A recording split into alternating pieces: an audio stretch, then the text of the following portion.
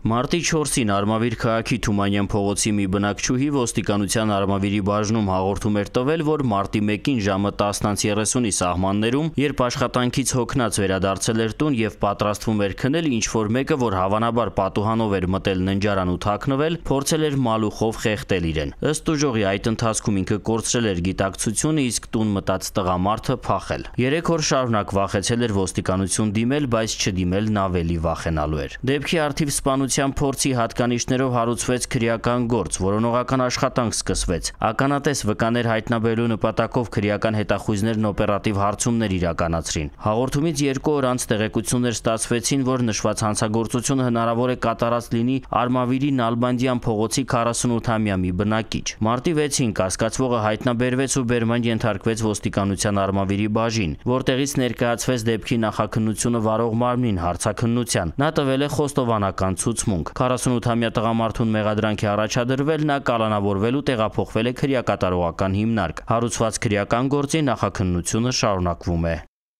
Ծանուցում ենթադրյալ հանցանքի մեջ կասկածվողը կամ մեղադրվողը համարվում է անմեղ, քանի դեռ նրա մեղավորությունն ապացուցված չէ Հայաստանի Հանրապետության քրեական դատավարության օրենսգրքով սահմանված կարգով՝ դատարանի օրինական ուժի մեջ մտած դատավճռով։